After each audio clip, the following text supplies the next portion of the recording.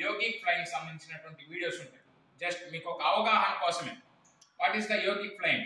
ఒక్కొక్క రోజు కొత్త వర్డ్ నేర్చుకుంటూ ఉంటారు. అవునా? ప్రతిరోజు కొత్త కొత్త వర్డ్స్ ఇప్పుడు ఇన్ ఓల్డెన్ డేస్ అయితే మనకి ఆ వర్డ్స్ గురించి మీనింగ్స్ తెలుసుకోవాలంటే డిక్షనరీలు వెతికేవాళ్ళు. ఒక్కొక్క డిక్షనరీ ఆక్స్ఫోర్డ్ డిక్షనరీలో సేమ్ వర్డ్ ఉంటుంది. బట్ ఆ యొక్క వర్డ్ వెతకడానికి కూడా చాలా సమయం పడుతుంది. ఇప్పుడు అంత సమయం పడతా ఉందా? అంత సమయం పడతా ఉందా? లేదు కదా? హాయ్ గూగుల్ అంటాం. అవునా కదా? లేదంటే హలో సిరి అంటాం. అవునా? అంతేనా? సో ఇప్పుడు అన్నీ కూడా చాలా ఈజీ అయిపోయాయి.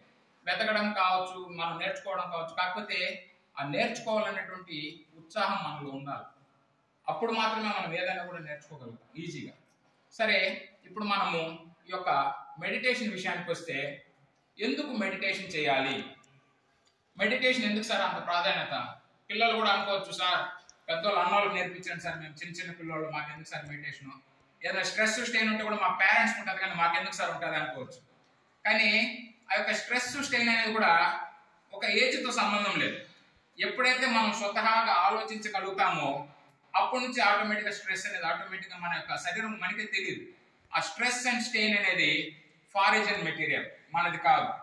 ఆ యొక్క స్ట్రెస్ అండ్ స్టెయిన్ని మనం ఎంత త్వరగా మనం బయట పడేయగలిగితే అంత మనం సెన్సిటివ్గా తయారు అంటే సెన్సిటివ్ అంటే ఇక్కడ అంత ఫ్రీగా తయారవగలుగుతాం ఎప్పుడైతే ఆ స్ట్రెస్ అండ్ స్ట్రెయిన్ అనేది ఎప్పుడు కూడా ప్రభావం చూపిస్తే మనసు అనే ఐ మీన్ మనసు అంటే మన మైండ్ మరియు శరీరం. ఇక్కడ చూడండి mind and body both are inner connected శరీరము మనసు రెండు కూడా ఇన్నర్ కనెక్టెడ్ ఎందుకు ఇన్నర్ కనెక్టెడ్ అంటే మనసు ఇప్పుడు ఒక ఉదాహరణకి ఒక యాక్టివిటీ చేయాలి. ఉదాహరణకి రేపు ఒక ఎగ్జామ్ ఉంది.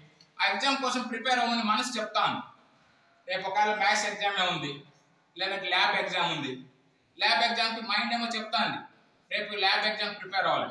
ప్రిపేర్ అవ్వాలంటే మనం దాని శరీరం సహకారం చేయాలా లేదా? బుక్స్ బ్యాగ్లో ఉంటాయి. అవునా? లేదంటే లైబ్రరీలో ఉంటుంది మెటీరియల్.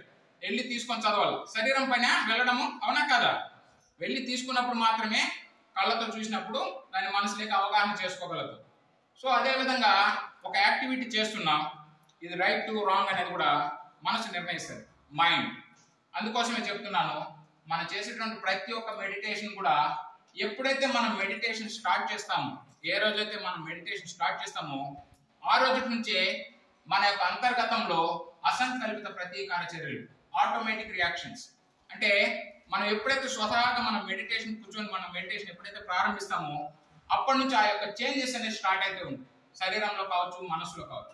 కానీ వాటిని మనం గుర్తించాలంటే by the practice regular practice ఈ యొక్క మెడిటేషన్ కూడా రోజుల్లో గంటల తరబడి ఏం చేయాల్సిన పని లేదు మనం కేవలం ట్వంటీ మినిట్స్ ట్వంటీ మినిట్స్ అందులో కూడా three minutes sukha pranayama or maximum five minutes sukha pranayama fifteen minutes meditation and three minutes rest అది ఎలా అనేది కూడా నేను రేపు క్లాస్లో మీకు చెప్తాను.